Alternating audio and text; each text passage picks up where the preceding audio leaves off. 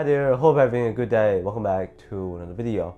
Today we have a shoe that went way beyond my expectations, and this is the Shadow 6 from Way of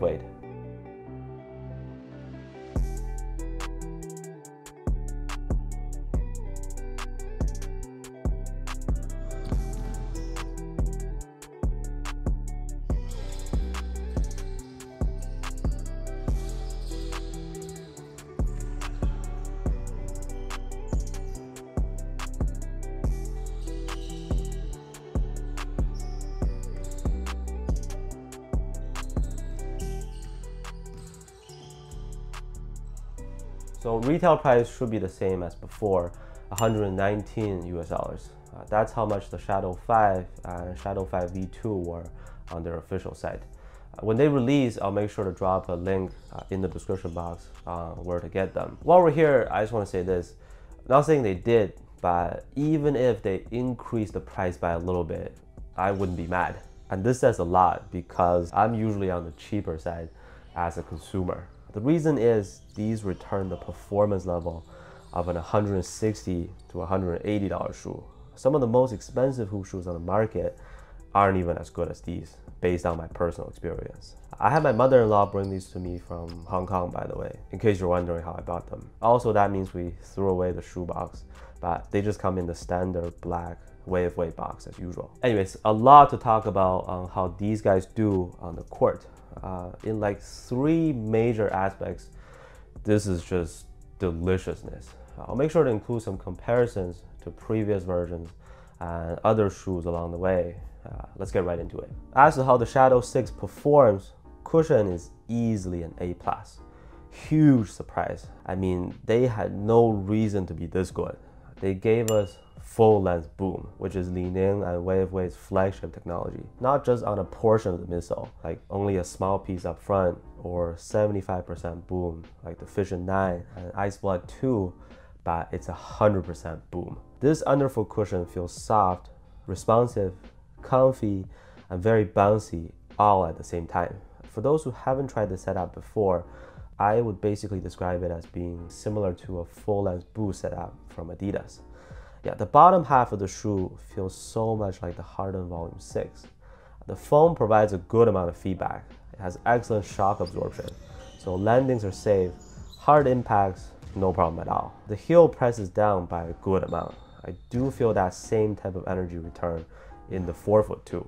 I mean, even from Way of Wade, they previously still only gave us this setup on the Way of Wade 10 and Way of Wade 11 the flagship model going for $225. The All City line at around mid-tier pricing. This is one of their cheapest shoes available. They didn't have to be this nice, but they did it. I think we gotta give them credit for that. If you think about it, when do we get full-length Zoom Strobel on a Nike shoe around this price? Most of their signature shoes don't even get the best tech treatment. They thrive by attaching names and creating hype for the most part. The Shadow 6 somehow has a premium setup. We're not done. From the bottom, you can see through the translucent outsole that there is a fork-shaped support plate to give you more of a springy effect on feet and help with the stability too. You might be able to tell that given how bouncy and dynamic the underfoot cushion feels, court feel isn't the low to the ground type but transitioning from front to back is still very smooth. It's not like the Fresh Foam BB V2, let's say, where it might be too high off the ground for some people. Uh, weight is still on the lighter side. My US size 10.5 pair comes to 370 grams on the scale. A little bit lighter than I expected actually. I was guessing maybe 390 grams or closer to 400 before I measure them. That's probably because they're slightly bottom heavy. Well, it is fully loaded underneath, so I'm just super impressed by how nice the cushion feels and how light the shoe is at the same time. Traction has been really good based on my experience. This colorway does have a translucent outsole. It's squeaky most of the times, but it's not like a consistently loud and sharp squeak all the time. Again, that's just a sound effect, only if you care about it. The grip was fantastic even on a dusty court. For me, the Shadow 5, I needed a good amount of time for the outsole to break in, and then it started becoming grippy. This I was able to get to a hard stop right from the start. but just for the record, if I was to do a side-by-side comparison, the GCU outsole on the Way of Wade 11 and All-City 12 Encore is still even better. The Shadow 6 has an irregular brain-like pattern or tree branches. I don't know how to describe that. Anyways, my complaint here is that on the very tip of the outsole, there's a tiny part up front that has no grooves on it. Uh, it might sound like I'm nitpicking, but hey, forefoot traction is super important, especially if you do a lot of aggressive cuts or change of direction. For me, this might be a 9 or 9.5 out of 10 already, but GCU is close to perfect. According to their product description, this is their tough RB outsole, meaning that it should be durable enough for outdoor use. Uh, it doesn't say that anywhere on the outsole this time though. Based on how it feels in hand and some outdoor wear, I would say it looks like a shoe that can last quite a long time for us. Indoor and outdoor friendly, yes. With the fit, I went true to size this time. True to size is a very snug fit, however. So if you prefer to have a more spacious fit, or if you have very wide feet, you can go up half size to be safe. I have slightly wider feet. True to size is almost too tight but manageable. Way of Wade shoes, I still think when in doubt, go half size up. But with their Way of Wade 11 and All City 12 Encore, I have the same shoe in both my true size and half size up. Comparing the two options, going true to size fits better in those two. Width is right around average, I would say. Not too narrow, but also not crazy wide. Nope. Yeah, nothing too special to note here. Lengthwise, my pair locks in my heel perfectly back there. So there's no heel slippage at all. Not much dead space in the toe box either. Now, something that I actually consider as a bonus here is the design of the laces. These texture laces look weird. Uh, from a far angle, I actually thought it was just tangled up at first, but it's made this way on purpose, and it does work. Having these pearls or dots actually ensures that the laces don't fall loose so you don't have to worry about frequently retying them. The amount of distance between each spot is perfect too. So once you tie them up, it just stays in place nicely. Brilliant idea, these ripple laces. So go true to size for a snug and secure fit. Wide footers, you can do half size up. Moving on to the material, another strong aspect of the Shadow 6.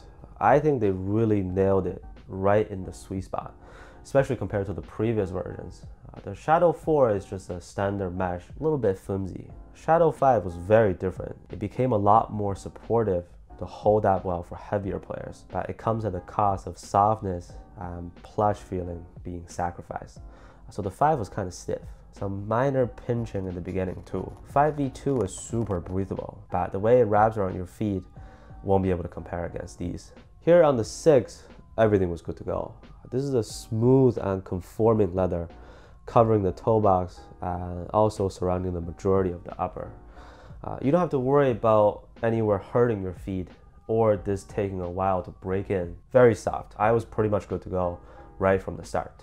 I've seen some of you report a pinching issue on the All City 12 Encore uh, near the stitching that connects those panels. That I didn't have. But on the Shadow 6, the only thing I remember is the very first time I put them on, um, near the inner side of the forefoot, like this area right here, it really felt like a cardboard stuffed in there. Only on my right foot, like around the toe box. Uh, but that immediately went away as soon as I actually started playing in them. It's been a very comfortable ride ever since. The ventilation holes ensure good breathability. A common issue on leather uppers is the amount of airflow, but not a problem here. My feet didn't heat up too much, even after an extra long session. Now, if I was to point out a downside here, the way the upper bends or folds, it is prone to creasing. In performance terms, the concern isn't how wrinkled they look, but it's the shape of the upper. If it starts to loosen up fairly quickly, then you lose the stability and rigidity to keep your feet in position. I don't know if that makes sense. So far, it's just a small concern I have. It's not like I actually had this problem occur to me already. So something to monitor for an update later on, I guess. On hard lateral movements, my feet were contained perfectly fine inside. Extremely flat feet like mine will have a blast still. Check mark. Kobe 4 resemblance, I don't know if you can see it, but I can. Design wise, I think this might be a very polarizing aspect. you probably either really like these or just hate how they look. Uh, I would say the placement of the big logo on the back of the midsole is at least something new. I remember in the comment section, uh, one person made a condom reference for the All City 12 logo, and I just couldn't unsee it. So don't do it to me here, right? I see it as a cool touch here. Taking the circle away from the exterior, you can argue that without this big logo right here, there might not be too much excitement. Um, printed on the line at the back, those are significant years to D Wade, I believe. Year when he was born, year when he was drafted in 03. Uh, those three are the championship years in Miami. Uh, year he retired, and this year, today, 2024. There's gonna be a few other colorways. I think the white pair is clean. Triple white could have made it better in my opinion. Crystal clear. Black one is nice too. It gives it a whole different feeling. Liberty and another white colorway with some blue on it. Those three come in a solid rubber outsole. So I might be getting one of those too later on. Overall, not only is this insane value for the price, it's also one of the top performers this year, even if we take out the affordability factor. I mean, we've gone over all the specific features. Uh, I still wonder if they made a mistake here because we're getting full length boom, a nice support plate, tough RB, smooth upper, extra design perks like on the laces. What's going on? Now that's money well spent for me. Uh, and I didn't even spend that much because the shadow line is budget friendly as you guys know. For comparisons, previous versions, not even close. Not saying that those aren't good, but the 4, 5, and 5v2 just aren't the same tier. Within Way of Wade, at the same price, yes, I would take these over the Fission 9 and Blood 2. The cushioning setup and bounciness alone can beat those two by a good spread. Also, the Fission 9 is really wide and the Blood 2 is really narrow. The fit here on the Shadow 6 is right in between easy choice for most people. Is it better than their All City 12 Encore and Way of Wade 11? Oh man, uh, the Encore has already been one of my favorite shoes this year. Let me just say this, it all depends on your budget because they are three completely different price points. The overall performance and functionality of the Shadow 6 does not lose those two at the highest standards. Maybe I'll put up another video comparing all their current products soon. If I to describe these using shoes from other brands, Kobe 4 upper, Jordan 37-ish bounciness, Harden Volume 6, underfoot cushion. This midsole setup reminds me so much of the Hardens. As always, I'd love to know how you feel about the Shadow 6, so let me know in the comments. Thank you so much for watching, uh, and I'll see you uh, next one.